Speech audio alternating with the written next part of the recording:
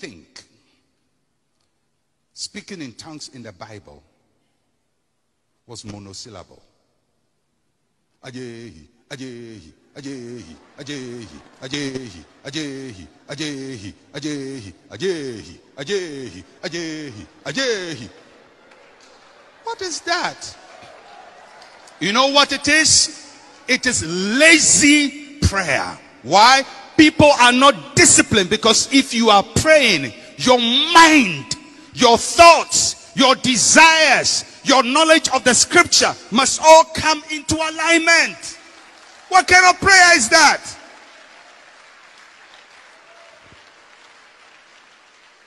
There is zeal. There is passion. Do you think that's what Paul was doing in Ephesus? Philippians, Philippi, Silas, and, and that's what they were doing in the jail. you think that's what they were doing in the upper room when the Holy Ghost came? Is that, is that what they were doing? Why can't we read the Bible for once? And sometimes it's like a symphonic orchestra.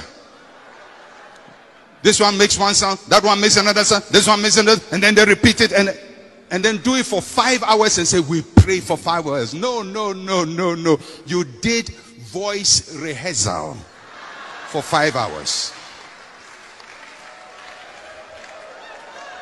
That's not prayer.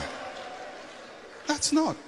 You know why? Because people don't want the discipline of waiting on God and talking to Him and pouring out their desires and asking Him to help them and asking Him to reveal Himself to them. Encountering God in such a way that when you leave the place of prayer, you know without a doubt your heart has been poured to the Lord and the Lord has poured His heart to you. But we take the easy way out of monosyllabic choruses.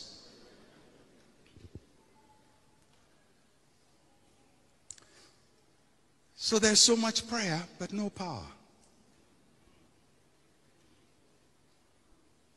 Because the people were just entertaining themselves. And some are doing it just to score time. People actually say, I'm going to pray for six hours.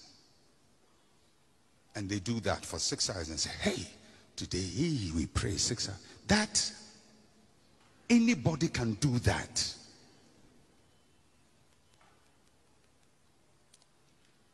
Because true prayer is the intensity of the soul, the depth of your soul. It is honesty and baring yourself, your weaknesses, your, your desires to the Lord and asking the Lord to cleanse you and of the Holy Spirit to purge you. Ask, and because people do all that kind of prayer and then go and fornicate. Because there's no baring of the soul to God.